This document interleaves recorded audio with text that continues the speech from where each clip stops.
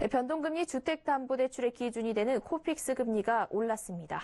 은행연합에 따르면 5월 은행권 코픽스가 신규 취급액 기준 1.47%를 기록해 전월 대비 0.01%포인트 상승했습니다. 신규 취급액 기준 코픽스 금리는 올해 1월부터 줄곧 하락하거나 보합에 머물렀지만 시장 금리가 오른 탓에 5개월 만에 반등했습니다. 하지만 잔액 기준 코픽스는 1.58%로 전월에 비해 0.01%포인트 하락해 사상 최저 수준 으로 떨어졌습니다. 이는 지난 2010년 2월 코픽스를 도입한 이후 최저치입니다. 은행연합회는 잔액 기준 코픽스는 시장금리 변동이 서서히 반영되는 반면 신규 기준 코픽스는 신속하게 반영돼 이 같은 결과를 보였다고 설명했습니다.